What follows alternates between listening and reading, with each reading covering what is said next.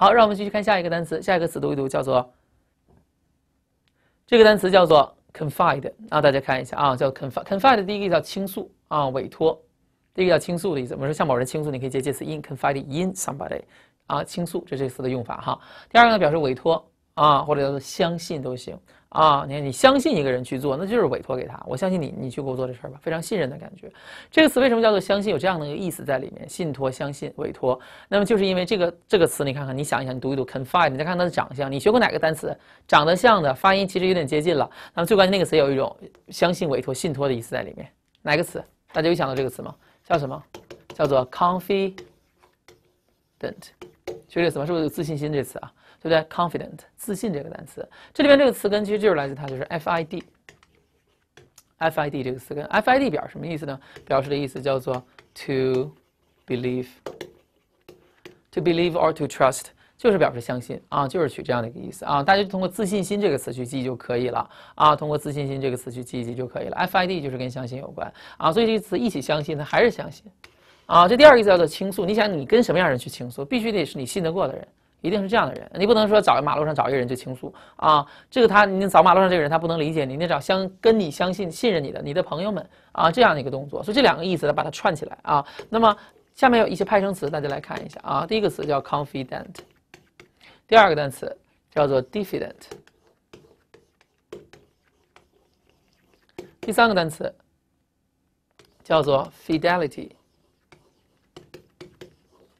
第四个单词叫做 perfidious。好，最后一个单词叫做 defy，还是一样啊。我写的过程当中一定要多去读啊，多去读一读它啊。好，我们来看一下第一个单词叫 confident，大家看这个单词啊，叫做 confident。confident 这个单词大家注意，它和 confident 就差一笔，一个是 e n t，一个是 a n t，大家发现了吗？那么咱都知道 a n t 表示什么呢？表示的是人。啊，它表示的是人，所以说这就表示什么呢？记住我的一个解，就是你信得过的人，最信任的人，就是 your best friend，your close friend，叫做你的密友、知己。就女同学你们叫闺蜜是吧？啊，男同学就是哥们儿，最好的朋友，这个叫做 confident，终于在第二音节，你最信得过的人。好看第二个单词叫 diffident。Diffident，diffident 是形容词。diffident 这个词怎么去记它呢？你就把 confident 写在它的旁边，因为这俩是反义词。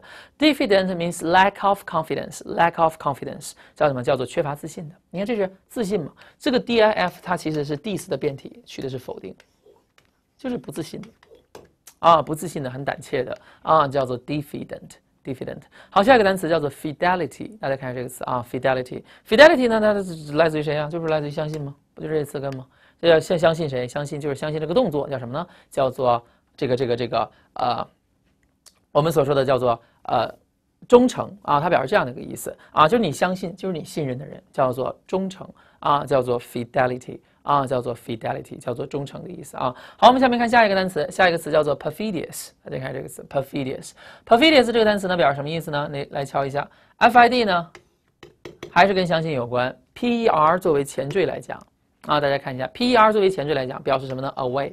我在之前给大家讲了，做伪证，还记得吗？再复习一遍，在法庭上远离陪审团的誓言叫做 perjury，perjure。所以这词叫远离信任，叫做背信弃义的、不忠的。我们说叫做 disloyal 啊，disloyal，背信弃义的、不忠的，叫做 perfidious 啊，perfidious。好，最后一个单词叫做 defy，defy 这个词比较难背，为什么呢？就是因为这个 fid 变没了。啊，它是其实只取的是 “feed” 这个词的 “fi” 这部分部分，它把这个辅音字母 “d” 给去掉了啊。那么这个第一其实取的也是个否定，就是不信任，这个叫什么呢？叫 “disobey”，叫做违抗啊，叫做违抗的意思，违抗 “defy somebody” 啊，叫做违抗的意思。它的名词和形容词我也给大家写一下，因为这个变化稍微大那么一点点，有一点点大哈，叫做 “defiance”，违抗的名词形式，把 “y” 去掉，加 “i” 加个 “a n c e”，那么后边的形容词就是 “defiant”。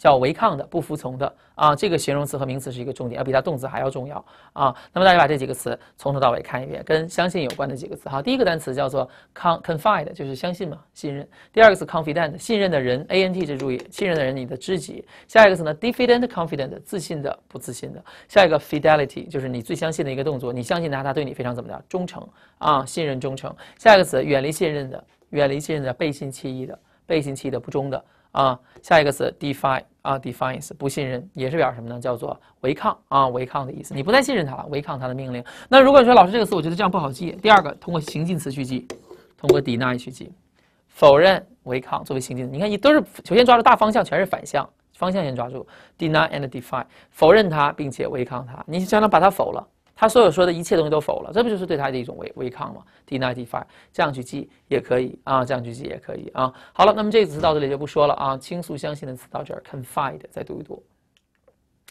好看下边下一个词，下一个词叫做 constrict 啊，大家读一下这个词啊，constrict 叫什么呢？叫做压缩。第一个意思啊，压缩哈。第二个意思叫做限制啊，压缩或者我们叫做限制的意思啊。限制咱们在以前学过哪个词？其实当你看到这个词叫做 constrict，你是不是曾经学过这样的一个词？四千词汇里边有哪个词？最基础的词 restrict。其实虽然在托这个词在托福里也有，但它是托福最最基础的一个词。大学词汇，他说上大学同学在四级里边就有了，四千词汇属于啊，叫 restrict，跟它放到一块儿去记就完了。同义词 constrict 和 re Strict 啊，那么这里面其实这个词根大家可能会发现一套相同的部分就出现了，就是这个 strict。strict 呢作为词根来讲，它和 string、strict 和 string 这两个注意一下啊。那么这两个呢，它是它是同根的啊，同义的啊，表示什么意思呢？叫做 tighten。如果作为词根来讲，本身表示拉紧的意思啊，表示拉紧啊，拉紧的意思啊，叫 strict。你看咱们说 s 呃这两个单词大家应该都应该认识，strict 叫严格的嘛。严格其实也是一种很紧的感觉。你看，经常会说我妈看得我特别紧，最近啊不让我出来玩，这就是对我很严格，就是这样的意思。那 strain 这个词单拿出来，它表示什么意思？strain 可以表示就是我们说拉紧或叫扭伤。如果作为动词扭伤，比如说 strain my ankle，啊脚脚踝扭伤了。你看你脚踝扭伤是不是也是一拉一下，拉一下抻着了，就这样的一个动作叫 strain 啊。但是我给大家说一下这个词你怎么去记它呢？你看我给大家写完这个词，你看看啊，a strict，还有什么叫做 constrain。啊，constrain，还有我们叫做 restrain，大家先把这个词放到一块儿去看一看啊。你记住啊，怎么去记它啊，会比较好记哈。你就相当于就记了一下这个 strict 和 strict。你看这词根后边是不是全没变，就变成这样一个，都是这个统一的形式，要么 strict，要么 strain。前面它不管加什么前缀，你就记住这个词，大家都往什么上去靠呢？把这个意思上往什么靠呢？都往这个抑制、限制上去靠，没错，它都是表示一种抑制、限制的意思。你看，我跟你说一下第二个词，第二个呢，a strict 表示什么呢？叫做束缚。或者叫做是什么？是收敛、收缩的意思，是毛孔收缩、收敛。这个 A 其实就是一个加强。你看收缩、收敛是不是也是一种抑制住的感觉？它这个词也表示一种叫做抑制的意思，啊，收呃抑制、束缚的意思。束缚 A 是一个加强，拉紧一个东西，束缚。Constrain 也表示什么呢？第一个它有表示我们说叫做拘禁、监监监禁的意思，就是扣留、关押，有这样的一个意思在里面，叫 constrain。关押是不是也是限制住一个人嘛？就这个词也有表示抑制的意思，抑制住啊，constrain。下面这个词呢，restrain 也有这个意思，表示我们是叫做抑制、限制的意思啊，抑制、限制的意思。像我们所说的言论受限，比如在某些国家，大家会发现啊，你在公共场合是不能乱讲话。你看，在美国相对来说比较自由，但你在一些国家言论受限，restraint。加个 t 之后变成它的名词，也是限制。所以大家会发现这个词你背完之后，它都是有一种抑制、限制的感觉。你只需要记住这个词根，它所有的组合都往抑制、限制上去靠，没错啊，就往这上去靠就可以了啊。好了，那么这个词到这里不说了啊，那么擦掉了。那我们来看看表示压缩的这个词啊，压缩呢，我们还有这样的一个词，有一个常用词，这个词呢相对来说较简单一些，叫做 compress，跟它是同义词。这个 compress 比较好理解，因为来自压嘛，压到一起，就这样的一个动作嘛。啊，所以压缩到一块儿了。但这个 compress 下面还有哪些词我需要说一下？你看看啊，来自于 press，press 就是按压这个动作啊，我们需要在这里做一些补充。oppress，suppress，啊，repress，啊，我们来看一下这样的一组词哈。第一个叫做 oppress，第二个 suppress，第三个叫做 repress，动词，动词，动词。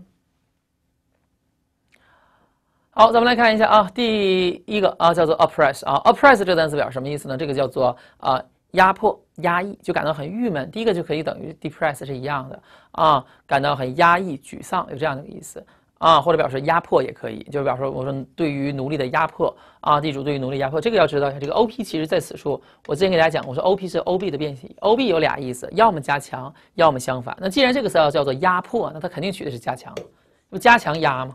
这不压住嘛，叫做压迫的意思，或者表示情感上的压抑。比如说啊，一些老年人总是受到呃死亡的这个呃这个这个这个呃恐惧啊所所压迫，感到也感到一种压抑感。对于死亡的呃恐惧有一种压抑感、压迫感。那怎么说？说 Some old people are oppressed by the fear of death，能理解吧？对于恐惧死亡，由于死亡恐惧而感到总是很压抑。啊，怕死一些老年人，这个叫做 Some people are oppressed by the fear of the death。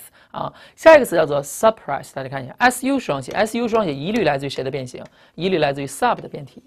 注意，su 双写一律来自于 sub 的变，sub 表示什么意思？往下，压下去这样的一个动作，叫什么叫镇压啊？就是镇压的意思。你看刚一出事儿，给你压下去了啊！你看再有一些国家当然也是一样，这事儿你出来不能先不能报，报了之后呢，这国家容易乱套，就把这事儿先压下来啊，这个叫镇压啊，镇压。最后一个 repress，repress 表示往哪儿压，R E 画一个横线表示 back，往后。我给你压回去是这样的动作，给你压回去了。这个词也表示什么意思呢？也叫做镇压的意思。那么这两个词如果呃作作为区别，如果大家想写作要区别的话，怎么去区别呢？repress 呢，这是一个正向镇压，就强调是正当的防卫镇压。比如说呃有一些地方想闹事儿，有一些流氓呃想闹事儿滋事寻衅滋事，这时候给他压下去，打压下去，这叫 repress。啊，这强调的是镇压方是有理的，而这个 suppress 呢，强调什么？这种高压强权镇压啊！你说不发工资，老百姓进行游行，你马上给一下给灭掉了，这个这种情况是是镇压方不对的，这时候用 suppress，这是正向的，这是反向的啊！这个叫做压迫或叫做压抑沮丧，所以这个 press 下面有这样几个 press 来了解一下，压到一起，压缩，作为一个近义词放到一块儿啊。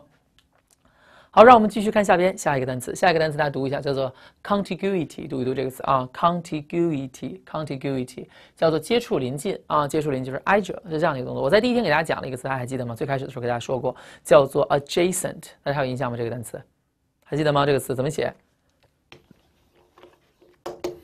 我说能够连在一起，对吧？adjacent to，adjacent building，临近的大楼。还有哪个词？我说大约离得很近嘛，快速滚动，about on，about，about。对不对？还有一个词就是 adjoin，这是我之前给大家讲过的几个临近 adjoin 啊，adjoin 这个词啊，脑子里迅速滚动，咱们再回忆一下啊。好，那我们来看这个单词叫做 contiguity，这个词呢比较难记。我先说下这个词的用法啊，这个词呢，比如说你说谁离离呃谁临近谁这样去使用，the contiguity of A and B 这个词这样去使用，the contiguity of A and B。比如说你说呃厨房和呃洗手间和卧室。临近对于残疾人来说是啊一项便利很方便的。你怎么说的？Contiguity of 啊 washroom and bedroom is convenient for the handicapped, for the disabled 都行啊。这个要知道，这个叫做谁和谁临近啊？临近的意思。那么这个词它的核心部位是来自于谁呢？这儿是来自于这儿。C O N 必然还是前缀吗？I T Y 还是后缀吗？这个 T I G 它是来自于谁呢？注意，它是来自这个词根的一个变体，就是 tact。它是来自 T A C T 的一个变体啊，它是来自 tact 的一个变体啊，和谁一样呢？和 T A N G 啊，这两个放到一块，tact 和 T A N G，注意这两个是啊同根的一个变体形式啊。你看谁跟谁发了一个变形？你看从它到它，可哥没变，I 和谁发了一个变形？A 元音鼻辅音，我之前说过，M 和 N 呢可有可无，给它去掉了。那么这个词根表什么意思呢？表示的意思叫做 to touch，跟什么有关？触摸有关，为什么叫触摸呢？哪个词能佐证它呢？咱们学过最简单的一个单词，就是联系这个词，叫做 contact 啊。咱们经常会说 keep touch，保持联系，contact，contact me，对不对？动词读成 contact，名词读成 contact。T N G 呢？你看联系嘛，一起接触嘛。这个 T N G 哪个词能佐证它呢？咱们就知道，咱们学数学的同学应该知道，有个词叫什么 tangent，是不是？正切，对不对？tangent 后面加个 E N T 嘛，接触到圆嘛，这样的一个感觉啊。我们以前也学过什么 tango，学舞蹈的同学，你看是不是后面加了一个 O 啊？探戈舞嘛，探戈舞也是，你看两个人搂在一起跳舞的时候，也是一定要相互接触，你不能是离这十米远去跳，自己跳自己的啊，不是那意思。所以这要知道，它是跟接触有关。那么解释了半天，我先让大家理解为什么叫做接触，可以通过 contact 去记联系，这个可以通过探戈舞去记。所以这个词强调的就是接触到一起，两人连连连到一块儿，这个叫做临近啊。你看我们俩经常联系，所以必然我们俩怎么样，离得很近嘛，接触嘛，接触到一起啊。看看它下面的一些派生词啊，我们来看一下啊，第一个词就是 tact。第二个词叫做 intact，啊，第三个单词叫做 tangle，第四个词叫做 tangible，第五个单词叫做 contagion。好，我们来看一下这样几个词。好，第一个单词叫 tact，名词；第二个词 intact，形容词；第三个单词叫 tangle，动词；第四个词叫做 tangible，啊，形容词；啊，第五个词叫做 contagion，名词。啊，好，我们来看一下第一个单词啊，第一个单词叫什么呢？叫做 tact。tact 表什么意思呢？我们所说，你看这个啊，这就是词根特别突兀就落下来了啊。这个词大家通过 touch 去记，就通过接触去记，但这这但这个意思离的有意思有点远啊，就通过接触去记。它强调什么？它强调就是人在接触相互之间接触时应该注意的一个问题，就是一个人一个状态叫什么呢？叫做接触人的时候就保持什么呢？叫做机智圆滑。它强调这个意思，叫做机智圆滑。接触人的时候的一个手法手段，你不能接。现在社会当中接触人的时候，肯定咱们说还是相对来说要有一些设防的。那么人要保持什么呢？叫做机智圆滑，圆滑一些做人，也不能太傻，叫做 tact。接触人的时候要接机智机智圆滑。下一个词，这这个词叫做 intact 啊，叫 intact。intact 这个词呢是一个考试当中的一个重点词，频率较高啊，重音在第二音节。这个词叫什么呢？叫做 undamaged，undamaged 叫做完好无损的、完整的、完好无损的、完整的叫 intact。为什么要完整、完好无损？大家想想这个 in 应该取什么意思？怎么摸呀？没有被摸过，都没碰过，完好无损的，叫做 intact。啊，叫做 intact。下一个单词叫做 tangle，大家读读这个词叫做 tangle。tangle 呢，le 结尾。le 之前咱们也给大家讲过，我说 le 结尾的词呢，一般往往表示动作的一个反复行为，对不对？表示动作的一个反复行动。啊，你看 tongue 叫做接触，反复摸来摸去，啊，摸来摸去这样的一个动作，这个表示什么意思呢？我们所说的叫做纠缠，就是反复抓来抓去，最终接触到一块儿了。纠缠的意思啊，它一般强调的什么？比如说关系上，或者是东西的物体之间的一个缠绕、乱缠，它不是强调正常的缠绕，注意，它强调是乱七八糟的缠在一起。比如说，你看我们家里那个台式机底下那个电线，时间久了全缠一块儿了，结成一个死结儿，这种感觉。它这个词有两个写法，第二个呢，前面加个 en 也行，entangle，因为 en 咱们知道只表示动作的一个加强、加强缠绕在一起，还是纠缠，entangle 啊，entangle。下一个叫做 tangible，tangible 读的这个词啊，able 结尾的词呢，咱们都知道这是什么词啊？这个、这个、这个。呃，形容词后缀能触摸得到到的，就这个词的造词。你看，able 能触摸得到的叫做 tangible，能触摸得到的 tangible。下一个单词叫做 contagion 啊，contagion，contagion 这怎么怎么造呢？你看，一起接触，ion 呢是名词后缀，大家注意一下，这里面还是进行了一个变形，tng 还是把辅音 n 给去掉了。这个词呢旁边写一个同义词吧，这个词叫 infection，叫做感染、传染的意思。但这个感染、传染呢，它一般都强调是接触性传染，它一起接触。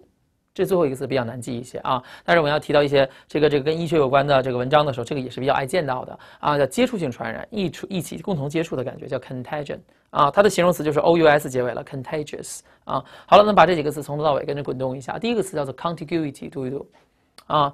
接触到一块，这叫做临近接触。第二个呢，叫做触摸接触人的时候，打交道的时候，机智圆滑，没有被碰过，叫完好无损的，没有被摸过，intact，完好无损，没有被摸过，一定要给自己讲单词啊，不是跟着背字母顺序啊。tangle，摸来摸去纠缠，反复嘛，反复抓来抓去纠缠在一起，能摸得到的，就是可触摸得到的，或者翻成有形的。我们生活当中说到的有形资产、无形资产，就是这个词，tangible assets 和 intangible 反义词用 in 否定，intangible assets。无形资产，下面接触到一起的疾病叫做接触性传染啊，传染的意思啊。好了，那么这个词到里不说了啊。那么看一下啊，那我们来看一下啊，有一个名词，另外表示位置上的一个临近，还有一个词写在旁边，叫 proximity 啊。大家看这个单词叫做 proximity 啊，prox proximity 呢也是表示临近、接近的意思啊。当然你说接近谁谁谁，它接的也是 to 啊，接的也是 to 啊，接近。比如说你说临近城市。啊，这一点很重要。你说 proximity to the city is very important，是这个意思，能理解吧？这个要知道一下，叫 proximity to the city，叫临近城市接近。这个为什么又叫做它叫做临近接近呢？它是来自于谁呢？首先你告诉我后缀是谁啊？ity 这个词呢是来自于它。咱们可学数学的同学看看有印象吗？大约近似的学过这词吗？approximately 学过这词吧？它就来自它，大约嘛，临近嘛，就中间部分啊，跟它是同源的。可以通过这个 approximate。啊，通过它去记一下，approximately 啊。好了，那么这个词到这里就不说了，结束。让我们继续看下边下一个单词哈。下一个单词叫做 contumacy，读读这个词啊，叫做拒不服从命令啊，倔强，拒不服从。我在刚才给大家之前的课程当中给大家讲了一个词叫做违抗，还记得吗？我说否认，否认怎么说？叫 deny，违抗叫做 defy。又来一遍，否认并违抗。那 defy 的名词怎么说？叫 defiance，对不对？D E F I A N C E，defiance 啊，回一回忆这个词啊，又来一遍。那么这个词为什么叫做不服从呢？它呢，你看前缀还是谁？C O N，后缀谁？这儿。那么这个词的核心部位就是 T U M。T U M 作为词根来讲，它表示什么呢？表示的是肿胀的意思。我之前给大家讲了一个词，肿胀，还记得吗？我说明显的肿胀的红斑，bloated，还记得吧？吹起来的吧？肿起来啊，回一回忆这个词啊，叫做啊肿胀的。啊，叫膨胀、肿胀的啊？为什么它是肿胀呢？我之前给大家铺垫了一个单词，叫肿瘤，怎么说？告诉我，叫做 tumor。我当时给大家讲到了，我说叫做良性肿瘤和恶性肿瘤，benign tumor，恶性的叫 malignant，mal 开头的 malignant tumor 啊。所以当时我让大家通过拼去想了，特务凸嘛，我说凸起来的嘛，就跟肿有关。那这个词为什么叫拒不服从啊？就强调人的自我膨胀。就是这个意思，C 文叫一起嘛，其实是一个加强。你想一想，如果你是一个学习特别好的人，或者你有一技之长，在你们学校班级或者是在你们的这个单位里边啊，觉得自己非常牛掰的人，这样的人可能会发现，有一点小膨胀。领导说你的时候，你就不爱屌他了啊，或者老师说你的时候，你会觉得哎，他还不如我嘞啊，所以就这样的人叫做 contumacy，拒不服从命令，其实就是意气膨胀，各方面一起膨胀，叫做不服从、违抗的意思啊。下面还有这样的一个词叫做 contumely，啊，contumely，继续叫做 tumid，最后一个叫做 tumult。好，我们来看一下这样几个词啊，tum，先要记住这个 tum 为什么跟肿有关？你可以通过肿瘤去记，咱们之前都给大家已经铺垫了啊。好，第二个词还是 c u n 开头，也是一起膨胀。这俩词呢意思相近。你看，一个是各方面都一起全膨胀了，叫做不服从命令。contumely 形容人的性格也是不服从啊，这样一个动作，它叫什么呢？这个词叫做傲慢无礼。但大家注意一下，这个词它是一个名词，这个比较特殊啊，这个比较特殊一些啊，它是一个名词，叫 contumely，也是一起膨胀。一个人膨胀的时候也是会觉得，我说过嘛，谁也不屌的感觉，这个人叫傲慢。啊，傲慢的意思啊，傲慢无礼。下一个词叫做 tumid，id，这个意思就是直译，肿胀肿加个的啊，肿胀的啊，肿胀的叫做 tumid 啊，tumid。好，我们来看一下最后一个单词哈，最后一个单词叫做 tumult，tumult 这个在新闻当中是比较常见的一个词汇了啊。你看看，咱们说像有一些国家总是发生骚乱动乱，就这个词叫做骚乱动乱，叫 tumult。骚乱动乱也是强调膨胀。你看什么膨胀？国家有点膨胀了，这国家要炸开锅了。啊，你看咱们说当年这个前苏联解体之前，也是这个这样的一个动作叫 to，各个地方全都是闹事儿，各个地方全闹事儿，这个叫做一起膨胀起来。这个后面这个 out 把它想到谁呢？就把它想到外面，啊，外部骚乱，外部膨胀，叫做骚乱动乱啊。通过 out 去记 tumult，读一读这个词啊，注意最前面 tumult 啊，这叫做 tumid 肿胀的。下一个词叫做 contumely。这两个词都形容人的性格，带 c u n 的记住一起膨胀，都形容人的性格膨胀啊。一个是不服从，一个是傲慢无礼啊。tum 这个词到这里不说了，好，结束啊。好，让我们继续看下边下一个单词。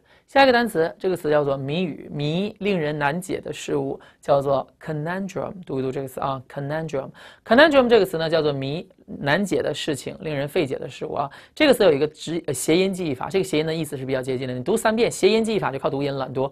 Conundrum，conundrum，为什么叫做谜语难题呀？就是可难琢磨。你看是这个谐音吧，可难琢磨了。Conundrum 啊，但如果你是一个啊比较沉默寡言的同学的话，你不爱出声读的话，那么这个词就不要通过谐音去记，因为本身你不爱读，那就谐音法记就失效了。你就通过鼓去记，里边有个鼓，drum 鼓嘛，斯文叫一起，un 你想一想，在里面把它想成在里面，conundrum，一起被蒙在鼓里，这样去想，把它想成这样去记也可以，一起被蒙在鼓里也是不知道。一头雾水啊，这种感觉啊，我们在很早以前其实学过，啊，相近相近的呃近义词啊，比如说像 puzzle 啊，谜还有 riddle，r i d d l e 啊，都是跟它相关的意思啊。那么这里边补充一个词，啊，这个是在北美考试当中考到的啊，还有叫 enigma，跟我读一下 enigma，enigma，注意在第二音节啊，注意注意在这儿，第二音节啊，也叫什么意思呢？也叫做谜的意思啊，也叫做谜。难题难解的事物啊，enigma 这个词不太好背啊。那么它的形容词后面加一个 tic，叫做 enigmatic，enigmatic，读一读啊。这个重音就挪了，enigmatic 形容词重音就在这儿了，enigmatic 啊，叫做令人难解的谜一样的啊，谜一样。这个我们怎么去记它呢？enigma 这个词呢？第一个记法呢，像当年有个联想派，就是啊，你的妈的妈妈，把它东西后面就通过一个联想，通过妈去记，你个妈是。尼格玛叫做什么呢？叫做尼尼格玛啊，谐音记想一想，尼格玛叫做伊尼格玛。但这样的学习，你要如果还是那句话，如果你不太善于用谐音记的话，你就通过它去记了。这个音其实还是一个加强。为什么叫做迷呢？不知道的这种感觉呢？它是来自于谁呢？注意一下，M 和谁是一样的？N 这是一样的嘛？后面是来自于哪个词？大家有没有学过这词？ignorant 是不是叫无知啊？不知道这个词吗？ignorant，大家学过 ignore 吗？就这里面只不过是 m 和 n 发生个变体，就是 enigma enigma enigma enigma，这是 m 和 n 发生个变体。第二个地方就通过它去记，来自 ignore 这个词，啊，来自它啊，e n 是一个加强，enigma，enigma，啊，enigma 都可以。你要觉得不好记，通过心里想你个嘛啊，这样你想一想，叫做谜。上面这词呢叫可难琢磨啊，可难琢磨，被蒙在鼓里也是谜语难解的事情啊，都是不好理解的意思啊。好。让我们看下边下一个单词，下一个单词叫什么呢？叫做 convict。大家看这个词啊，convict 叫什么呢？叫做证明有罪。这个词我在最开始的时候给大家讲过啊，无罪还记得吗？无罪怎么说？证明无罪叫做我说宣布一个人退出罪行，叫做 acquit。咱们再复习一遍，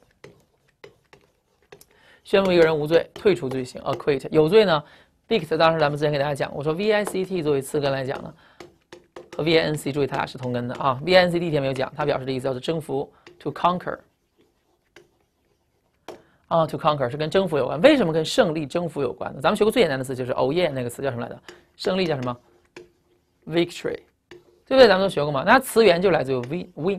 你看，wins 嘛，就是来自于 win 这个词，就是来自于赢这个词啊，赢要，征服、战胜的意思。所以我说，退出罪行这是无罪，征服一个人就是征服他，是他有罪。在罪行面前征服一个人，怎么用来的？再来一遍，convict somebody of of something。啊，convict somebody of something 啊，好，下面我说下这个词啊，这是这个词动词，咱们之前已经给大家讲过了，又做一个简单的回忆啊。那么这里面我说下它的名词，这个名词呢是考试当中的一个考点词，就是 conviction。这个名词大家一定要记住啊！你看一下，把它名词写旁边了。Conviction 呢，它第一个意思呢，肯定有一个什么意思？有一个叫做有罪，这个意思不用不用反复强调了。但 conviction conviction 还有一个很重要、很重要、很重要的意思，它可以表示什么？叫做相信。这个意思是非常重要的，是一个考点啊，叫做坚信、相信的意思。这个通过谁去记呢？你就把这个 convince 写旁，因为 convince 这是一个基础词汇，高考词、四级词都有它。通过 convince 去记，convince 要使相信嘛？conviction 这是动词，名词放到一块儿啊，放到一块儿叫做 conviction，叫做相信的意思。啊，相信的意思。好，那么下面呢，我们把这个词根底下的单词给大家展开说一下。第一个单词啊，evict。第二个词叫做 evince，这俩是容易混淆的啊，看看不太好记的啊。下一个词叫做 invincible。啊，下边啊，下面一个单词叫做 vanquish。好，我们来看一下这四个单词啊。我们来看一下这四个单词。第一个单词叫做 evict。第一个单词 evict，evict 表什么意思呢？这个词你看它往哪儿征服啊？e 方向是哪儿？往外。记住我的一个解释，记住我的解释叫征服出去，给你打出去的感觉，征服出去了。你看 vict 叫胜利嘛，征服者嘛，它总是有一种武力上的一种征服的感觉。vict 给你打出去的叫做驱逐，这个词表示驱逐的意思。但同学们请注意，这个驱逐呢，了解一下啊，它一般多强调的是从房屋建筑内驱逐，它不是说从国家给驱逐了，不用它，那还有别的词儿。它一般都强调是从房屋建筑内，比如房子到期了你不交租子啊，这个这个这个这个房主申请法院强制执行给你搂出去，这个叫什么呢？叫做 evict。下一个词叫做 evince。